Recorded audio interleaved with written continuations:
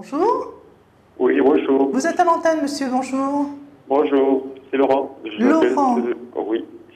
Je vous appelle de Sainte-Rose, De Sainte-Rose, ici en Martinique. Guadeloupe, Guadeloupe. Guadeloupe. Oui, je vous voudrais ai- savoir pour euh, réussite des examens euh, euh, le 7 juin, à peu près, au mois de juin. Oui.